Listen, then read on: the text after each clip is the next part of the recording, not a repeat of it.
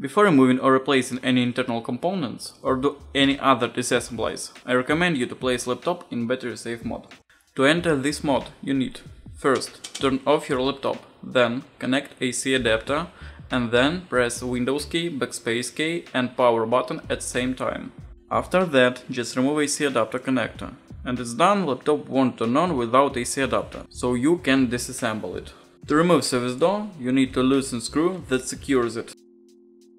And then, using some plastic tool, you need to pry up service door and remove it.